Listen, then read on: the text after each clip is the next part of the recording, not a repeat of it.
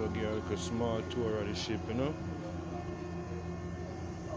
To the crew there, crew them there. See the hatch. See the ladder. So climb up on here and show you how it go, you know. Safety first, steel toe shoes, just some people. Alright. So we have a step up. Now we are climb up, you see it? This is the hatch. So when it closes, you can land a helicopter right here. Right on top of this hatch in particular, here's a helicopter strip. I don't know if you can see the white marking, you know? You see me?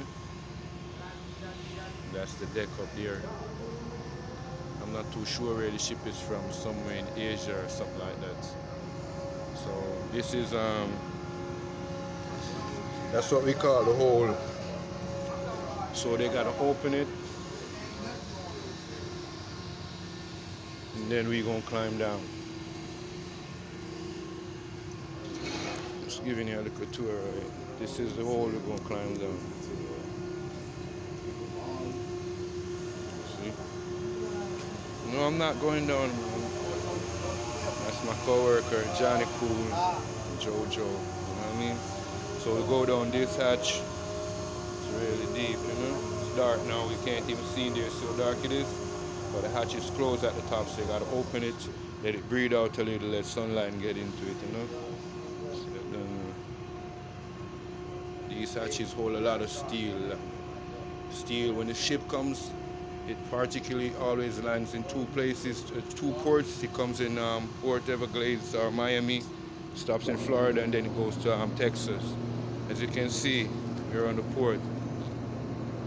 See? Those are people going out in the early morning to enjoy their day. Rich people life, you know Florida's there already.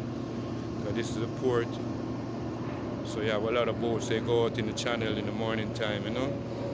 So you have a particular way. Just like how cars have um, a road and have their side, that's how boats have to travel. You have a side that who is going up, they on one side, and who's coming down the other side. You know what I mean?